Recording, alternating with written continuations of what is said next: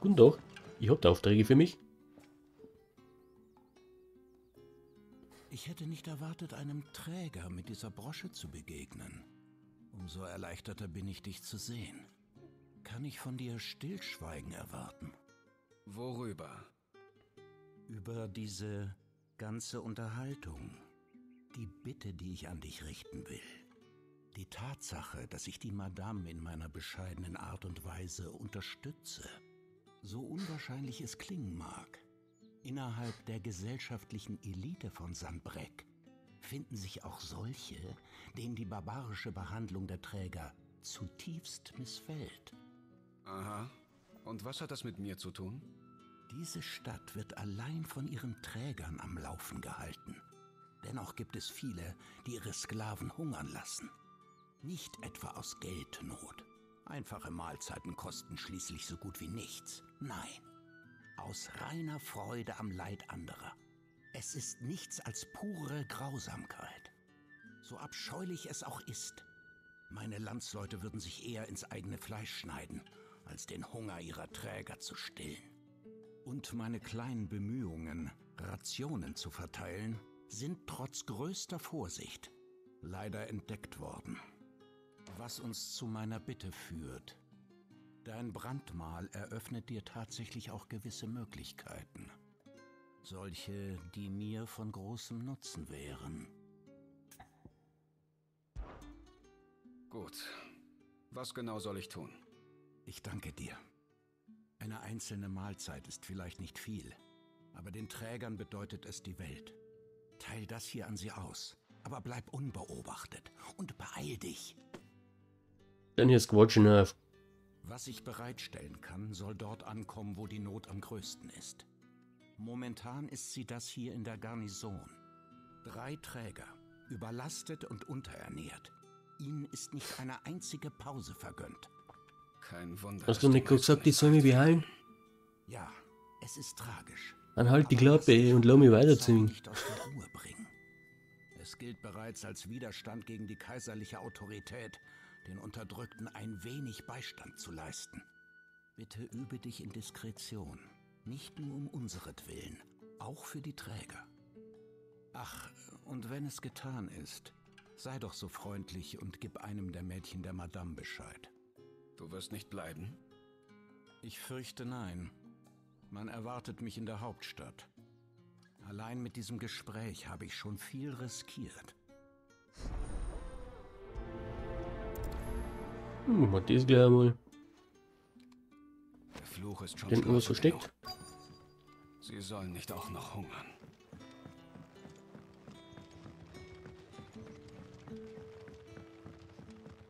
Nö. Aber runter geht's.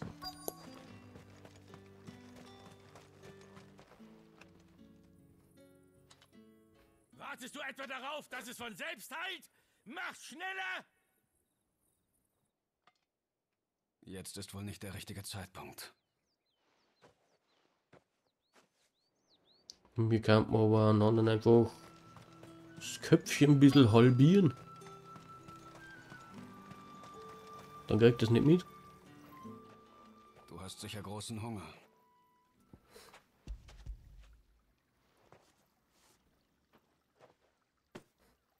Das hatte ich bitter nötig. Danke. Doch ich heb's mir erstmal auf. Ich will nicht erwischt werden. War es schon immer so schlimm?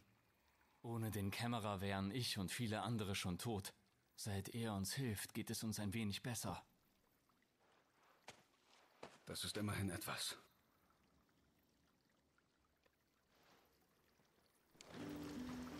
Ich jetzt hin? Nö. Immer noch beschäftigt.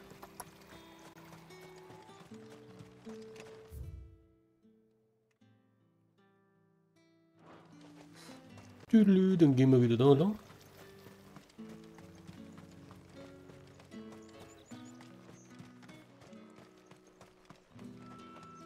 Da.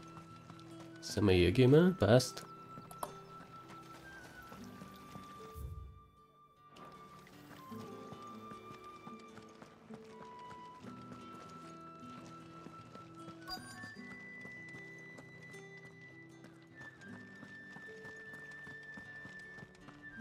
Hilo. Hier ist etwas für dich.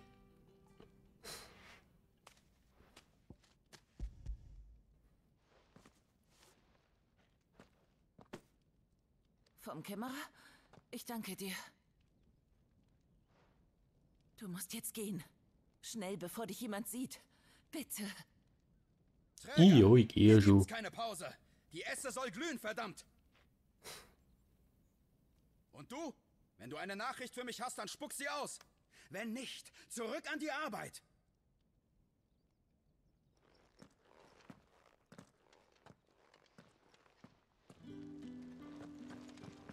Bei mir war ja jetzt schon mal ein Kopf kürzer gewesen. Der halt auch noch. Seit Okay. der Wellenuss-Höhe ist kein Mondfall. Dann machen wir zuerst die anderen Dinger da. Und noch eins. Das war's für heute. Ein paar Bierchen und dann in den Stein.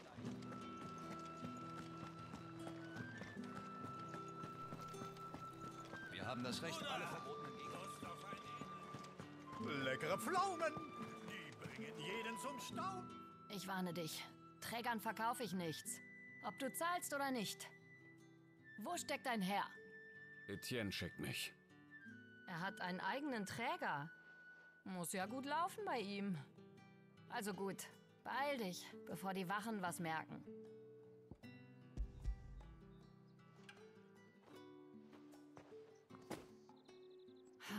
Das nimmt mir eine Last von den Schultern. Und das ist für Etienne. All das für Schnaps. Nicht so ein Fusel. Vom Allerfeinsten, sorgfältig destilliert für meine besten Kunden. Oh, sagt er. Wachen den, bist du ihn sofort los. Versteck ihn gut, hörst du? Wenn er Etienne schmeckt, sag ihm, dass er mehr bekommen kann. Nicht umsonst, natürlich. Na, Natürlich. natürlich.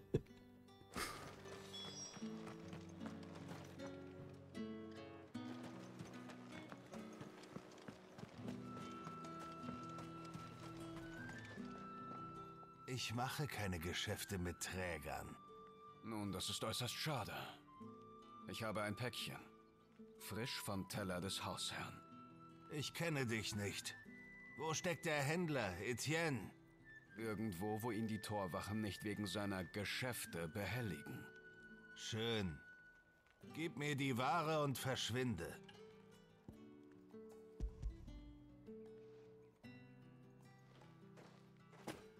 Das ist leichter als sonst. Träger, wenn ich rausfinde, dass du mich betrügst. Ich nehme es gern zurück. Das tust du sicher nicht. Dein Herr sollte dir die freche Zunge abschneiden.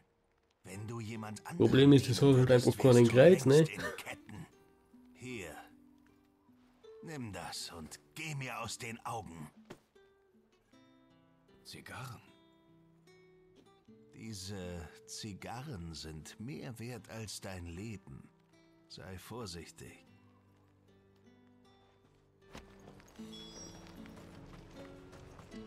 Guckst du nur oder kaufst du was? War da nicht nur einer? Naja, da. Oh, wie bekommen Sie diese Farbe? Hier gibt's nichts für deine Sorte, Träger. Verschwinde. Husch. Ich habe eine Lieferung von Etienne. Frisch vom Teller des Hausherrn.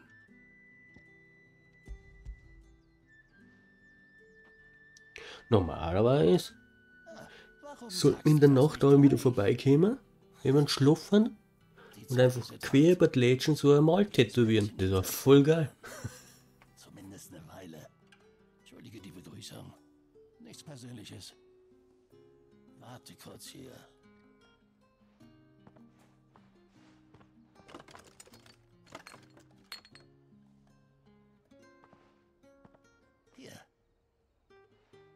Kannst Etienne sagen, ich stehe zu meinem Wort.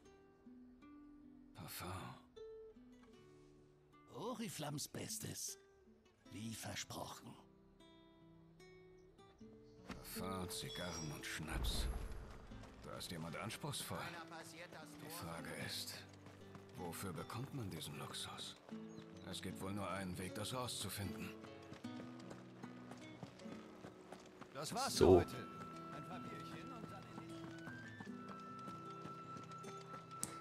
Er fertig?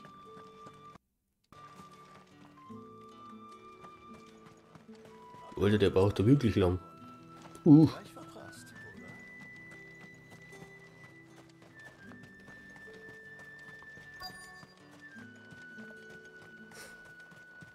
ich sehe es jetzt später. Das reicht, verdammt! Geh mir aus den Augen!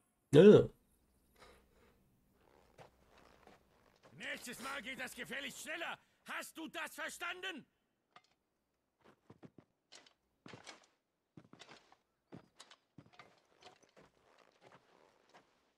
Hier.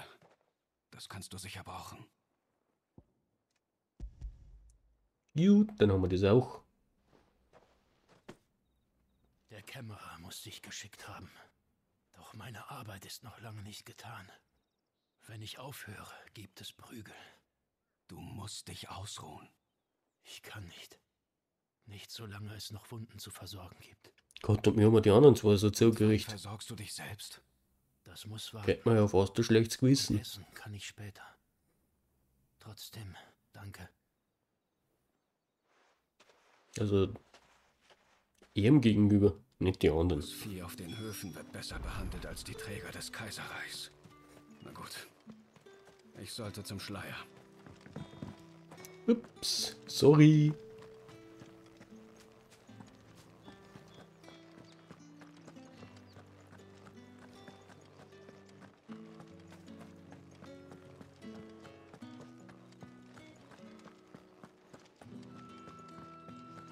Einmal. Hier.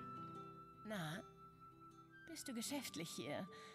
Oder zum Vergnügen? Zum Vergnügen jedenfalls nicht. Ich habe für den Kämmerer Essen verteilt. Ah, also hat er jemanden gefunden, der ihm hilft. Besser ist es. Ich habe gehört, dass seine Freunde am Hof in letzter Zeit zu viele Fragen stellen. Er ist also wirklich ein Kämmerer. Es gab eine Zeit, da galt er als der bedeutendste Kunde des Schleiers. Für uns Mädels war er eine Art großzügiger Onkel. Er war einer der wenigen hier, die an der Art, wie das Kaiserreich die Träger behandelt, Anstoß nahmen. Selten für jemanden seines Standes. Das dachte sich die Madame auch. Ein kleiner Schubs in die richtige Richtung und schon wurde er zum Schutzpatron der Hungerleidenden von Nordstedt. Wir haben zwar unseren Onkel verloren, aber wenn die Träger dafür was zu essen bekommen, beschweren wir uns nicht. Oder kaum. Freut mich zu hören. Das gibt einem ein klein wenig Zuversicht, oder? Zu wissen, dass es Menschen wie ihn gibt. Und Menschen wie dich. Kein Wunder, dass die Madame so von dir schwärmt. Ich mach mich lieber auf den Weg.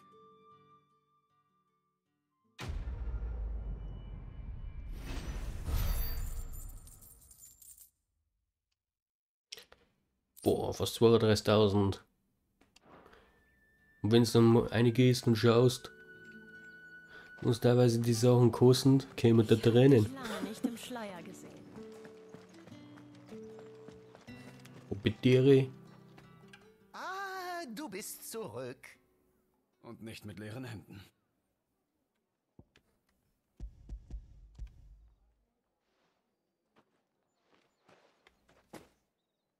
Entzückend. Madame wird zufrieden sein. Wenn du meinst. Wäre sie auch zufrieden, wenn sie wüsste, was du dafür eingetauscht hast? Du meinst die Kristalle? Sprich es ruhig laut aus. Warum hast du es mir nicht gesagt? Einem ehrlichen Menschen sind Lügen wie Fesseln an den Fußgelenken. Ich konnte nicht riskieren, dass du vor den Wachen ins Stolpern kommst.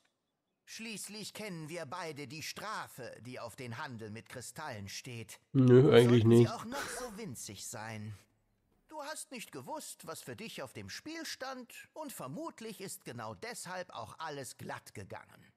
Doch trotz dieses erheblichen Risikos geben unsere Freunde gerne ihre wertvollsten Waren her, um ein paar mickrige Stückchen zu ergattern. Ich wusste nicht, dass Kristalle hier so rar sind. Rar wie Chocobozähne. Daher gibt es selbst für die kleinsten Splitter einen florierenden Markt. Ha. Findest du es niederträchtig, die Bedürftigen auszunutzen? Ich glaube, du tust, was du glaubst tun zu müssen. In der Tat. Und ich denke, Madame sieht das genauso. Dein Lohn für deine gute Arbeit. Ich habe die Ware, die ich beschaffen sollte, und die Wachen sind ahnungslos. Ich danke dir. Auch unsere gemeinsame Bekannte wird dir danken, wenn sie davon erfährt. Hoffen wir's mal.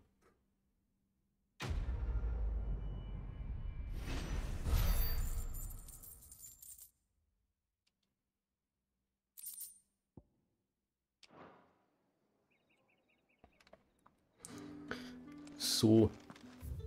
Noch was? Nö. Dann geht's mal weiter mit der Hauptquest.